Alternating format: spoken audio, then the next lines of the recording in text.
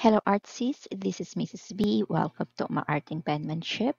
For today's video, I will be doing watercolor tulips with calligraphy like this.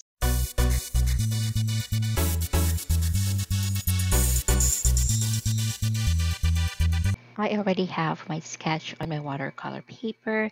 I will use the Kolinsky Sable watercolor brush size 4. It is best to have a brush with a pointed tip like this. Here is the reference photo at the upper right to get the same shade of these tulips. I'm mixing Jaune Brilliant with a bit of opera, diluted it with lots of water. So today I will make a bouquet of tulips in a vase like in the reference photo that a friend sent to me. I think this is the best shade that matches the color of the tulips on the photo. I started to paint the left petal of the flower with a light wash. I put the red arrow on the reference photo to show you where it is. By observing it, it's light and below it, it has a shadow. So I will use a very light value of sepia for the shadows. By the way, for the materials, I am using Canson XL 300 GSM watercolor paper. The original size of the paper is 24 inches by 18 inches so it's huge I cut it into smaller pieces and I use some of the sheets for my watercolor sketchbook. Let me know in the comments if you want to see how I make watercolor sketchbook. Some of the sheets are still unused and I'm saving those for future use. This paper is 300 GSM, but it's not 100% cotton. It is still best to use 100% cotton and 140 pounds or 300 GSM watercolor paper, especially if you will use it with more water and layers and layers of paint. I bought this paper because it's best for watercolor calligraphy. I use for some commission projects and teaching watercolor calligraphy.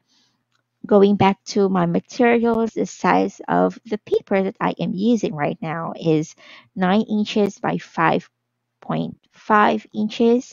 For the watercolors, I'm using my Mungyo Professional Watercolor Pan Set. For sepia, it is Shinhan PWC because I don't have sepia in my watercolor set. For my brush, I'm using my Kolinsky Sable brush in size number 2. I also painted some of the petals of the tulips to make the separation visible. There's a little darker on the separation of the petals. If you observe the reference photo, you will see that there are shadows in between the petals. You can also Google other tulips images and look closely at the division of the petals. I made also darker value on the other petals to show as I look in the reference photo. There are some darker tones too, so take note of that. Remember to add darker values, shadows, and observe the photo reference well. One of the common mistakes of the beginners in watercolor painting is that they do not add shadows and they don't mix colors. Tip you can simplify your painting. You don't have to paint every detail. The important is that you can express the colors, the light, the shadows, and of course, if you are painting a tulip, it should look like a tulip and should not look like something else. I'm now on the second tulip at the left side of the first tulip that I painted. I started on the left petal while waiting for the first flower to dry and avoid touching or smudging with each other. I also added a very diluted sepia at the bottom of the flower to show the shadow. I'm also using the sepia to add a bit of details of the tulips like the tips of the flowers and some of the lines. The next petal that I painted, I added a bit of opera to make a darker value. I added a darker value very close to the edge of the first petal to show the vision of the petals and it won't look like one huge petal. I will do the same thing on each petal. So while showing you how I do it, I will stop talking as I mentioned earlier some tips to paint each of the petals of the tulips. I will play a relaxing music so you can enjoy watching how I painted tulips and hopefully it will give you a good mood. I'll be back later after I painted the, all of the flowers.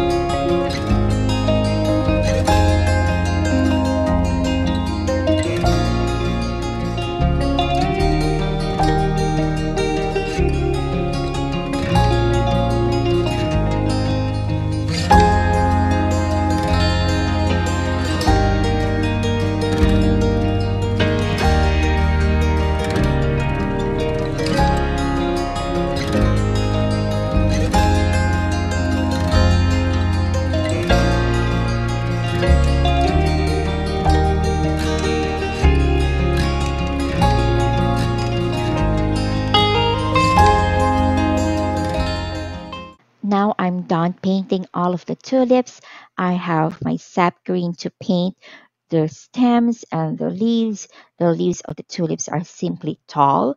I also mix sap green with some blue to add more interest, shadow, and contrast. I also mix the sap green with a bit of permanent violet and Van Dyke brown. So I have sap green, sap green with blue, sap green with permanent violet, and sap green with Van Dyke brown. I added first the sap green, then sap green with blue, to add a bit of shadow and switch the colors with different mixtures of sap green. I will paint the vase later and since the light source is coming from above, the stems and the leaves are darker. So that is what I am showing in this painting. The leaves and the stems from the reference photo are overlapping. I painted first the stems so it will be easy for me to add the leaves. The good thing about these two leaves, the leaves are easy to paint with just one or two stroke streaks and that's it. Then just add some darker value to show the shadows. I will play the music again while I'm painting the leaves. If you notice, I made the stems and the leaves very close to each other. That way I can easily add the vase later.